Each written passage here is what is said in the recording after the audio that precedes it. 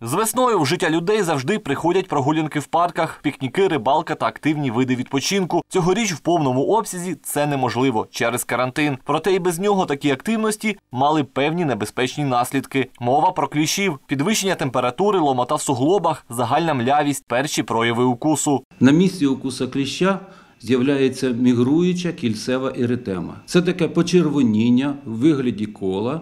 І якщо це ті почервоніння ви тільки побачили на місці укуса кліща, необхідно негайно звернутися до лікаря. Можливий наслідок зустрічі з кліщем хвороба лайма, ураження шкіри у вигляді мігруючої еретеми, сильного почервоніння, також під ударом нервова та серцево-судинна системи і опорно-руховий апарат. Торік у нашому місті було 20 випадків хвороби лайма. Вже в цьому році по місту зареєстровано три випадки е, хвороби лайма.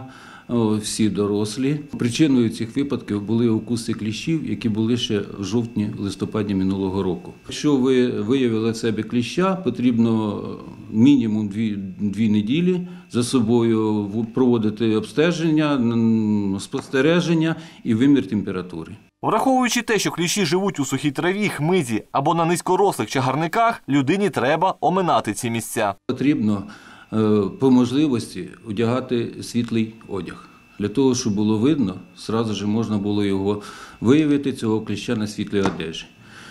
Е, По поверненню додому, додому обов'язково треба весь одяг е, з себе зняти, обов'язково його випрати і обов'язково потім прогладити.